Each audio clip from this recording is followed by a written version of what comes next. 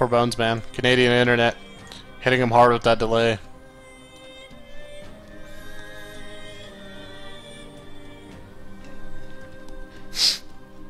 Alright guys, well, starting down here at the bottom right side of the map, representing Seed.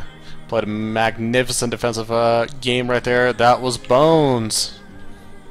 And that is tough to hold too as well, unless you have unless you have that split instant second decision making where you're like, man, I need to get like pump out Colossus and upgrades all at once because that's a big, big big key factor too as well. Without some of those plus upgrades, those Colossus, even though they do have AoE, they wouldn't have been able to get at uh, those Locusts as easily as they did. So but at the same time, I do want to make a note that Hendralisk, if he maybe got the queens out a little bit sooner and started creeping a little bit uh, quicker, and that creep spread got up uh, closer up into the natural area, those locusts might have been able to get a little bit more damage done a little bit sooner, hopefully, and forced maybe some unit trades before Bones was comfortable enough to start pushing his way out. I don't know. There, there was a lot of things. There was a lot of things. There's a there's a way to do that type of a build and playstyle where you get still the third base and you're also getting the plus upgrades as well because that is pretty important to be able to get the plus missile and get the plus uh, carapace upgrades. It makes uh, those swarm hosts, the locusts, last a hell of a lot longer and their damage output to be that much better. now over here at the top left side of the map, representing complexity, we have the Zerg player, Hendralisk. Bum bum ba da da da da. So, kind of thing, funny thing to note. Today, this thing started at about four o'clock my time, aka 16 o'clock. For those that use the 24-hour clock, we're getting closer to five hours on this broadcast. Yesterday, and we, how many players do we have in this tournament? Remember, we have 29 players in this tournament. It is double elimination, but we have 29 players. Yesterday, we had somewhere around mid almost up we had I think I'm pretty sure up to close to 200 players yesterday in the Red Bull Global qualifier. That thing finished in under six hours if I'm not mistaken at least my portion of the broadcast. Finished under six hours. This thing due to the MSI beat man the block the block on it because of all the crossover of players playing man I assume this thing is gonna go for at least another three hours. Probably another three. Yeah easily another three yeah, that's gonna. Yeah, no, that's gonna happen. Like, hold on. I'm, let me. I'm gonna pop the bracket up again because I'm like that. We're we're still in the losers round three semifinals. So losers uh, round of four A. We got another set of semifinals that we got to cover. We have the winners final. Then we have to have the losers uh, initial final. Then we're gonna have the losers grand final, and then we got to go all the way to the grand final itself as well. And I'm not sure. Is that going to be a best of five at the very end? No. Okay. All matches are best of three. So okay. But man, I'm, I'm I imagine this thing going to be going for uh, a full another three hours. It's kind of crazy to think about.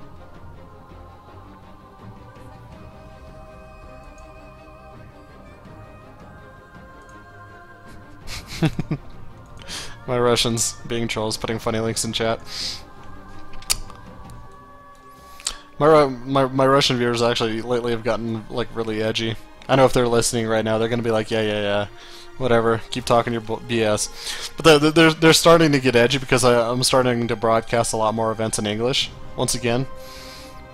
Uh, used to do, like, with tournaments, I used to work a lot more with, like, especially in the past, like in 2013 and early 2014, I used to do a lot more in, uh, in Russian. Now, as of these, uh, as of this past, like, I would say two months, a lot more in English, and they're, and they're, and they're feeling left out, man. The chats are just kind of like, man, come on, are you to cast us in Russian or not? Come on, man. Don't leave us. Don't leave us. What did we do to you, man? What did we do to you? Actually, the Ru the Russian scene and the esports scene in Russia right now, in terms of StarCraft 2, is kind of hurting. I will admit that, but it's funny because the whole general esports scene, it feels like it's kind of a little bit on the decline over there in, uh, in the CIS area. So they, they they're starting to hop on all of these like webcam shows. They're starting to like I don't know for whatever reason what it, what it's doing, but all all of these we we call them like re, re, well let's call it real streaming. Basically, it's all these like a little mini reality TV type of streams esque. So like people that are going on. Um, oh, what the hell is that one? All these webcam uh, type of programs and whatnot. So I don't know. It's it's really really it's it, basically it's really lame and very like low quality stream, and people are just restreaming each other, and that that's their form of like streaming entertainment. I don't know. It's really sad. We, we have it better here in America. Our our esports scene and quality of viewers is, is a lot better.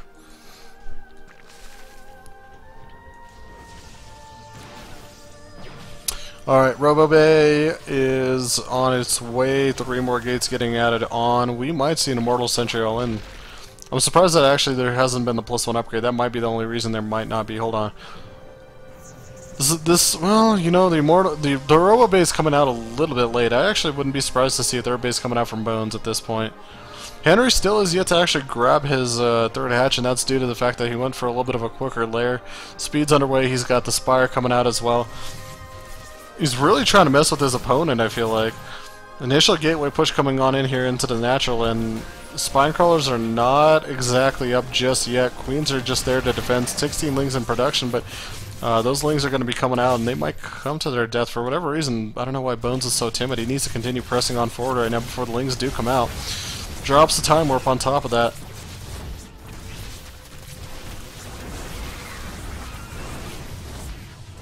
And uh, the Gateway army just on its own might be enough to break Hendralisk. We have 8 mutas underway. Now 8 mutas will be able to break down 2 Stalkers. That is a guarantee. but if I was actually Hendralisk, I would start focusing down the Stalkers just to make sure they can't put out uh, any, you know, damage on them. Alright, so the mutas do start coming out right now. He's going to try to get one of the mutas down, but I don't think he's going to have enough time to do that as well. And now the poor queens are just trying to micro out of the way. He needs to pull the drones out of the way as well. He might lose too many drones just kind of trying to micro them through. And Zealots do end up falling, but this is going to give a lot of time for Bones to prepare back at home as well. He's already got cannons coming up. He's got the Twilight Council underway. Plus two and Blink underway. Hendralisk desperately not only needs to get up a drone count, but oh, I was about to say he needs to get a third base up. But look at this, look at this sneaky little man. Look at this sneaky little Hendralisk over here at the left side of the map. Bones, meanwhile, is putting up pylons on the way other side of the map right now. Is he going to be able to spot this base? Oh, this is so sketch. Spots the creep right there. I'm not sure if Hendralisk saw him. And uh, this could get interesting right here. This could get a little uh, hashtag dicey, as we call it. Now, the Stalker Force is a little bit too much for the mutas right now. Uh, you can see Hendralisk is desperately trying to get that Mothership Core down. Will not be able to. Oh, that's so unfortunate. And now Cannon's in position. Now there's almost enough energy as well for the Photon Overcharge. Just kind of little by little, not everything working out in Hendralisk's favor, man, this game. And here comes a pack of uh, Zealots over here to the left side of the map.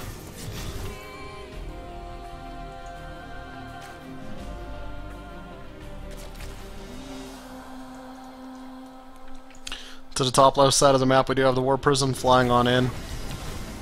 Ling's desperately trying to get over to this hatchery. It's actually very crucial that he does actually save this hatch. He really needs to keep sure that he needs to make sure that he keeps the third base alive, and also that way so he could keep his gas economy going and uh, he's going to spot the pylon. He's going to be desperately as well searching for any additional pylons that are going to be out on the map. Now the thing that the problem is, it's going to be this warp prism. It of course has that mobility to pop up almost anywhere, and that anywhere is going to be the main base right now of Hendralisk. Roach Warren just about done. Plus one flyers is about done as well. Queen going to have to micro back. The Mutas coming over to help defend it. One Zealot working his way within the mineral line. Going to start slicing away at the worker count a little by little. Oh,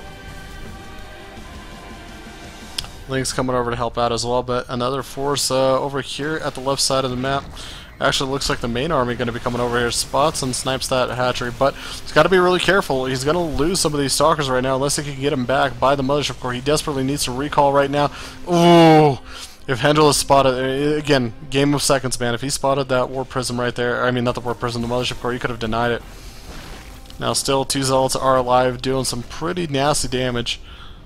Hendralisk really getting split up all over the place. He's got to retake a third base instantly right now. He doesn't have a choice. He's got it. He's got 14 roaches in production, but... Man.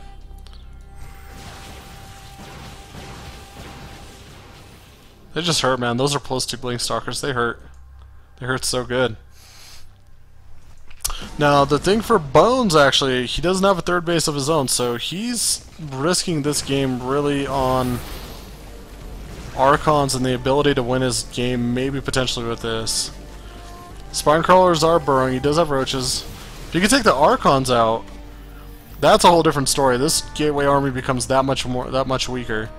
But he's got to make sure he's got a hurdle around himself. He actually might even want to bait the Mothership Core. This is one of those things, you know, peek out the Mothership Core a little bit, have the Mutas come forward, and then have the Archons pop the Mutas. Henry retaking his third base over here to the left side at the uh, one of the other third base options. He's going to head on forward. There's a lot of Stalkers here, and that's the problem. The thing I'd be worried about, I would think almost the Stalkers alone could maybe take this army, but Henry doing a good job of trying to micro his way through. One Archon falls, two Archons fall, all Archons fall.